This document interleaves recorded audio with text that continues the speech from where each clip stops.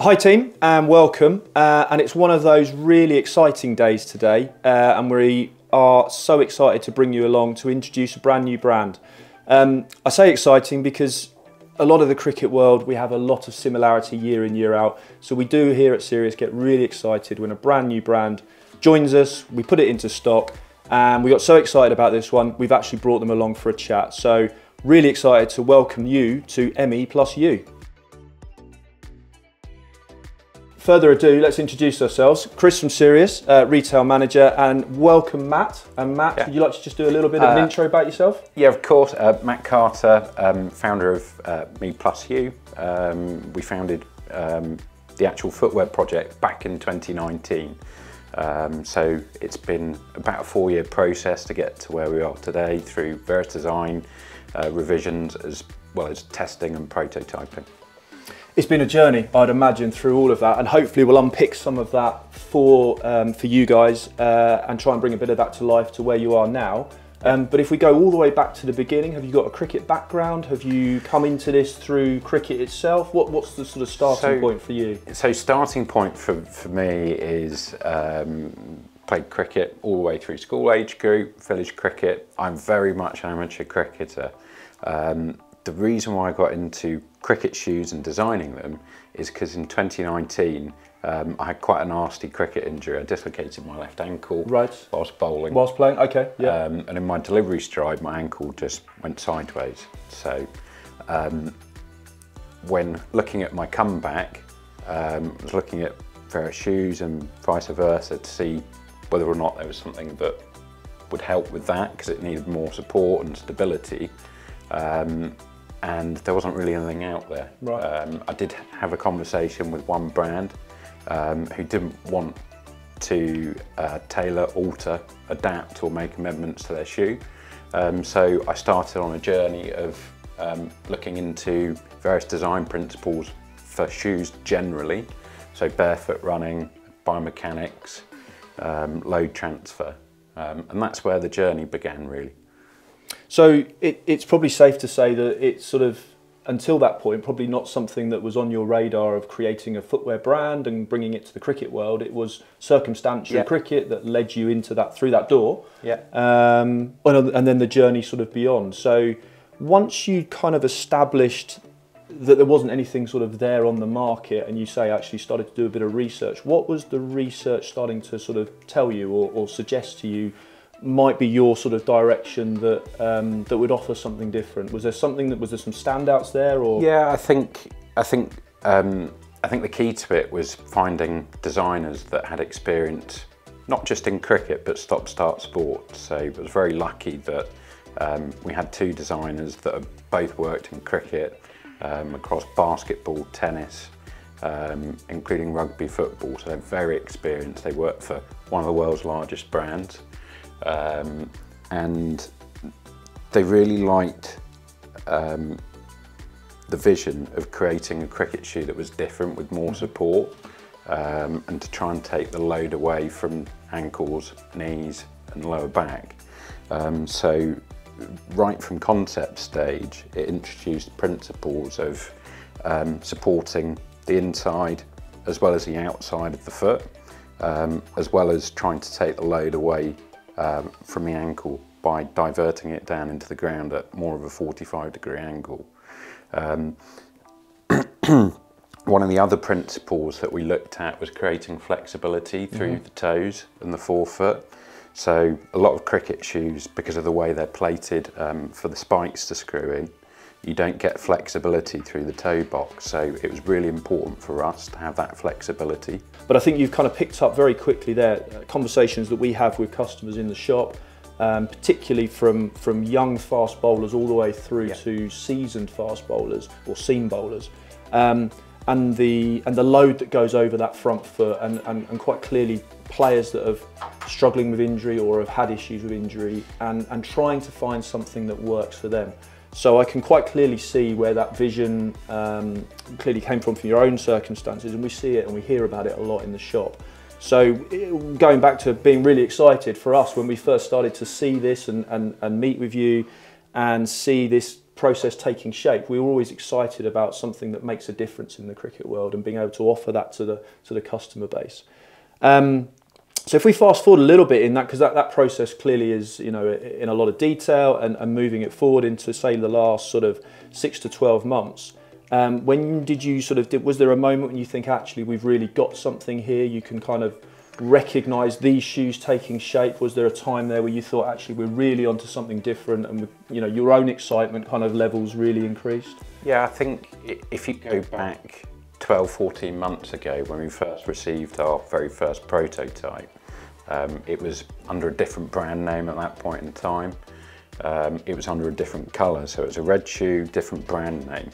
Um, but in reality, the principles of the shoe haven't really changed. Mm. I think it was that, that very early prototype that got us really excited. Um, it allowed us to start having conversations with investors, um, with potential sales agents, mm-hmm. managers, um, including retailers, just yeah. like Serious Cricket. Um, uh, it also allowed us to start testing the shoe, um, whether with amateurs or with pros. I mean, we've been very fortunate with who we've had test the shoes, um, from some of the, uh, the Rajasthan Royals under Steffan Jones, um, through to um, Megan Belt, Darcy Carter at Kent, um, some of the Millfield School Academy, um, and probably more locally, one of the Vipers mm-hmm. Academy mm -hmm. in Gemma Porter, yep. who tested them last summer. Yeah, and I, and and that's I think a really important. It's, it's real world, isn't it? You know, it's it's people who are uh, in it day in day out bowling. Um, you know, you mentioned Steffan, who's obviously a, an expert in his field in terms of biomechanical movement and the and the fast bowling sort of um, journey,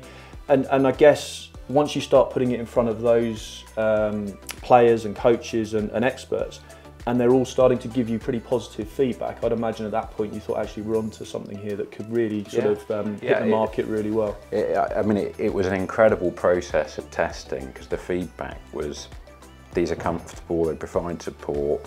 Um, I feel like I could wear them all day, and that doesn't necessarily happen with a cricket absolutely, shoe. Absolutely, um, but we were even more fortunate from talking to agents to get um, express fast bowlers to test them as mm. well because that really is where most of the pressure comes onto your feet. So um, Jason Holder's worn a pair. Um, we had Alzarri Joseph trialling them in West Indies training. Um, so that's really exciting. Mm. Um, and and, and you've mentioned a couple of West Indies quicks there, and I suppose that nicely leads on to the name that perhaps people who know about you already and have yeah. and have seen sort of uh, with the brand is Kieron Pollard, and and that's a fantastic sort of. Uh, uh, opportunity to talk to a, a, an expert, a world superstar, and I guess somebody that has access to supporting you into getting into these players. How, how did that come about? How did you kind of um, start that, that route? Um, so um, Kieron Pollard came about through a relationship with his manager. Um, so um, one of the employees at Insignia Sports, um, Jimmy Alder, um, he's best friends with one of my friends from university. Right. So that's how I met Eddie Tolchard, who's the CEO, who looks after um, Polly personally. Mm -hmm. so we were uh, in the market for investment and Eddie was going out to Bangladesh to go and meet Polly.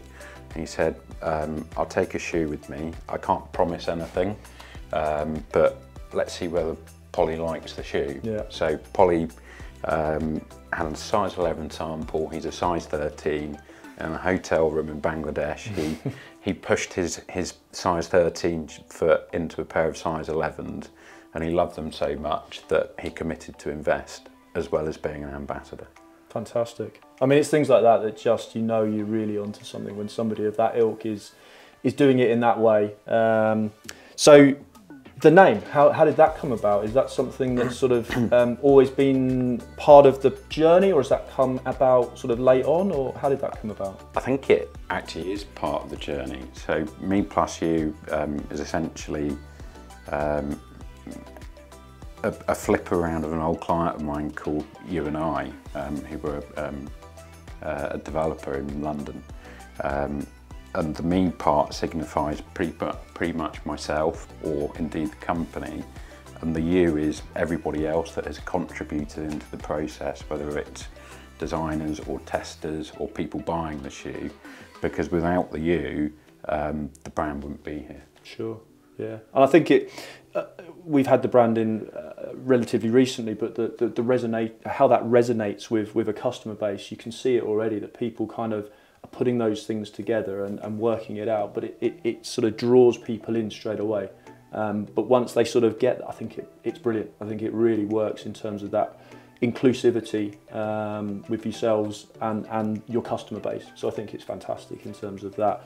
Um, and it's of its time. It's modern. It, it, it's you know it, it, has that modern look as a logo, and I think it just you know has shelf appeal. All those things are brilliant. So um, fantastic. Um, so I think that probably brings us up to, to where we are now, which is um, should we jump into the shoes themselves yeah, and just kind of um, give a bit of an overview for, for you guys in terms of what is the the range for 2024 as it stands? So um, I'll sort of obviously pass to you as the expert, um, but just to kind of give that a little bit of a starting point, um, we've got the bowling boot. Um, so we sort of um, uh, men's bowling boot, men's all-rounder shoe primarily. And then probably um, one of the ones that we were most excited about, which is the, the women's um, all-rounder shoe, which uh, we'll come on to in terms of the spec there, but a, but a purpose-built um, female-orientated shoe, which again um, is just sort of revolutionary in terms of the cricket market. Um, but if we take them one by one, so um, I think there's a lot of similarities across the design and across the spec. Um, but in terms of a, a pure sort of bowling boot, um, can you just sort of talk us through the the specific kind of um, detail of what that's offering a, a, fast bowler in terms of the, the setup? Yeah, of course. So um, essentially, um, what we've got, we've got a unique heel counter, um, which is unique to the Me Plus You brand. So uh, the intention for this is to transfer load down into the ground at a 45 degree angle rather than uh, straight through your ankle into your knees and lower back. The other element to this, um, to quote Steffan, is that it actually helps reduce ground contact time. So if you're a fast bowler, um, it can make a difference mm -hmm. in terms of percentages of extra speed or pace.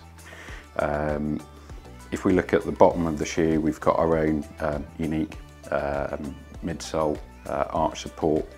Um, completely unique to us is that we provide both um, support on the inside and the outside of the shoe to really create a stable platform to be able to either bowl spin or bowl fast. Um, those are probably the more unique features of the shoe. The other um, feature that we have with the shoe is that we've actually got a, a solid toe cap. So if you are batting, um, and a bit like me and a bowl and you get hit on the toe, it's not going to hurt as much and hopefully reduce the chance of broken toes and uh, black toenail. the, the old adage of, um, of fast bowlers treating their fellow fast bowlers sort of uh, a little bit lightly is probably a is probably a thing of the of the uh, of the past, and certainly the sort of the nose and toes shouts uh, out in the slip cordon is quite quite rife. So something that protects you sort of all through the whole game. Um, again, really important for, for players, particularly those fast bowlers who are batting at 10 11. Uh, fantastic, and I think from a fast bowler's perspective, um, you can quite quite quickly see um, some real benefit and some real positives in the design and in the quality of the shoe to, to really offset that, that impact and what you need.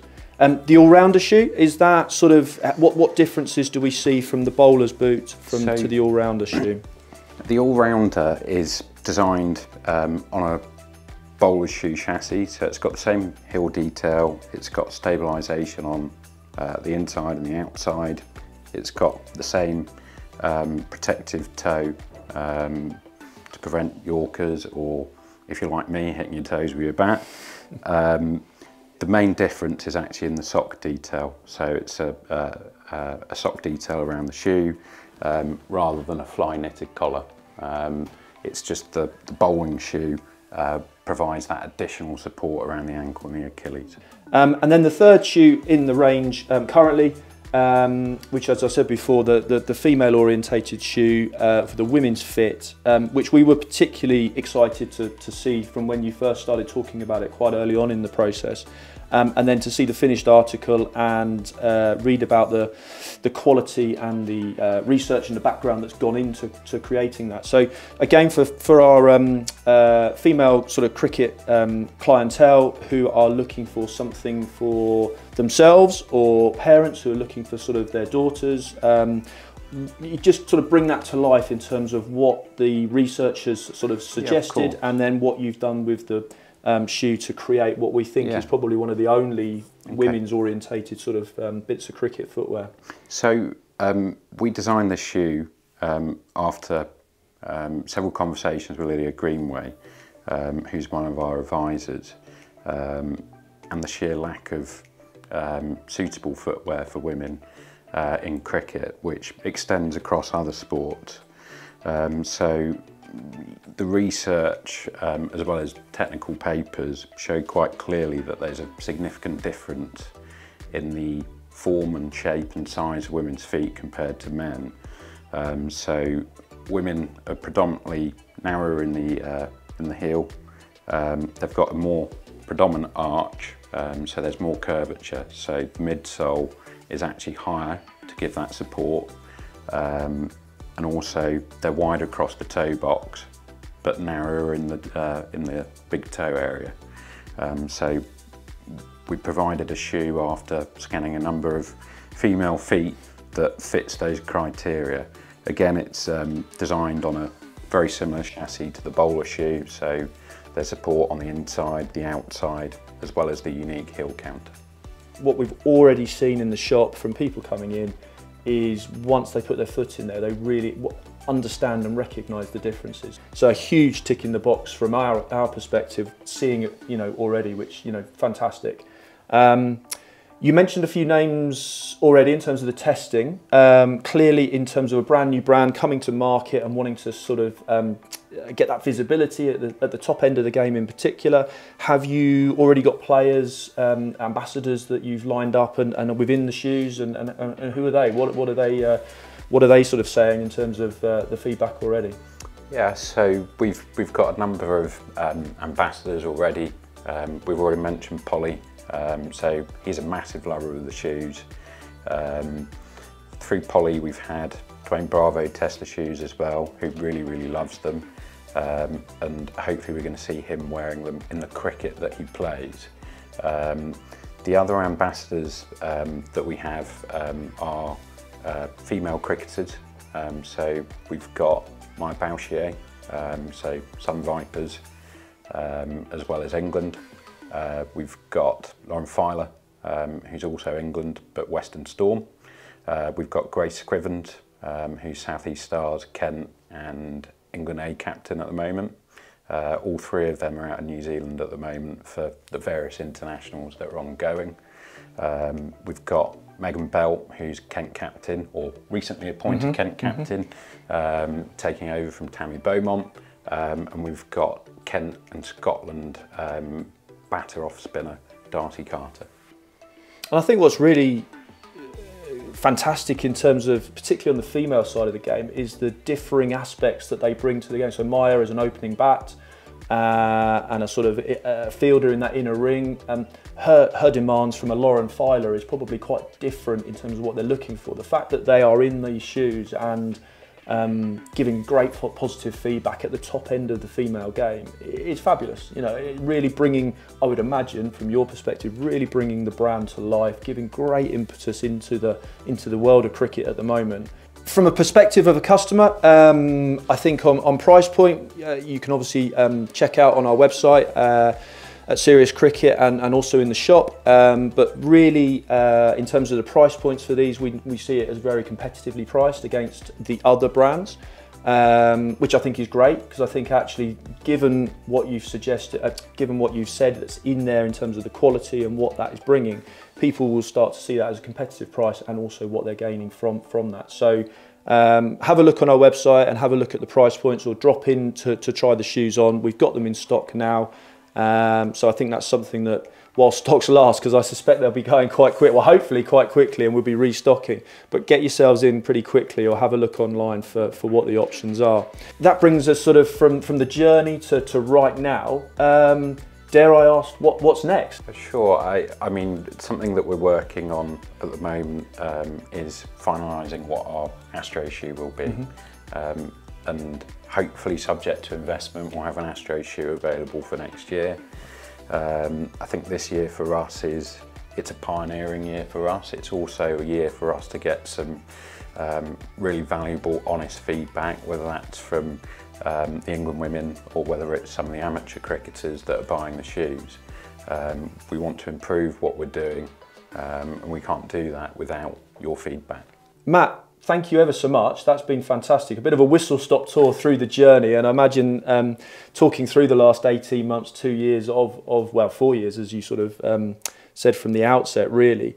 Um, putting that and condensing that, it probably doesn't quite sound as when you're living it every day, day to day, and all the things that you've kind of been through. But thank you for bringing that to life. Um, hopefully, the um, uh, viewers have, have really taken a lot of detail there. Just to echo that from our perspective, um, if you need or would like any more information, do get in touch with us. Um, we are now stocking them. So we've got the shoes in, in store, we've got all the information. I'm more than happy, of course, to, to start talking to people about it and what um, and what the best options for you are. Thank you for your time, Matt. Really appreciate it. Um, if you've liked the video, um, please like us, give us a big thumbs up. Um, please leave a comment. We're always interested in your comments, um, hopefully mostly positive. But if you've got any questions or queries, please drop them in the comments as well. Um, please subscribe. We've got lots more videos coming, particularly as we're just about to start the season. Um, so subscribe so you get those and hopefully we'll see you again very soon.